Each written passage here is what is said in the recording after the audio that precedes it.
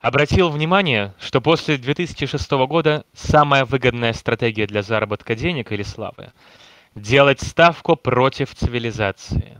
Мигранты, пропаганда, финансовые пузыри, инфляция, увеличение государства, законодательные урегулирования, деградация моды, искусства, культуры и так далее.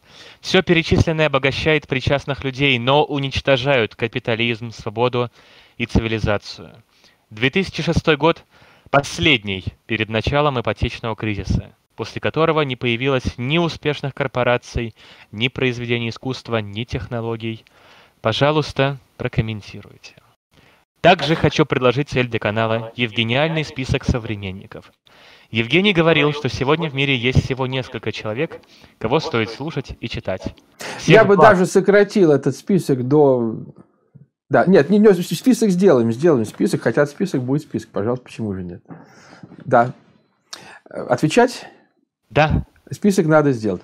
А, по поводу шестого года я бы не стал. Понятно, что ипотечный, там, ну, в том числе ипотечный, конечно, все это тоже, это тоже был мыльный пузырь с ипотекой, но в основном, кстати, в основном в Америке.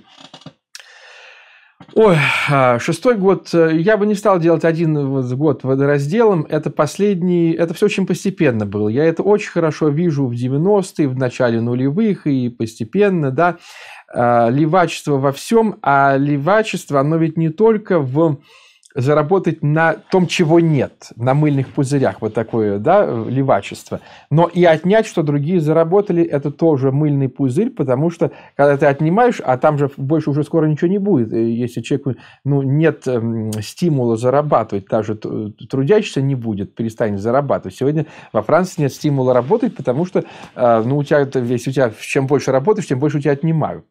А чем ты меньше работаешь, тем тебе просто так дают. А если ты дикарь исламский террорист, тебе сразу квартиру дают, просто сразу, да. А, вот, и поэтому это не только шестой год, это все вместе. Да, ипотечный, там не только девятый, еще восьмой, девятый кризис. Но вот последние 20-30 лет, а это все тоже развивалось с 50-х, 60-х годов, сильные позиции коммуняк в Италии, социалистов во Франции, пропаганда СССР, которая велась на огромные деньги советские в Англии, в США. А поэтому это все постепенно. То есть первый ответ, что это гораздо более постепенно, нет одного года. Второй ответ, что а, это все именно левачество, в том числе уродство в э, одежде, живописи и прочем, это идет от того, что нету критерия, нету классового общества, нету понятия аристократизма, элиты, все едино, все перемешано. А что перемешано? Ну, вот это помойка. Где все перемешано? То есть, э, вот есть выставка, вот выставка, а вот была помойка. А когда все перемешано, вообще все, это все помойка будет. Уже не будет ни, ни дома, ни музея, ни помойки, а будет все помойка, если все смешать. Это вот и есть современное искусство без классового общества. Вот так вот дальше, да.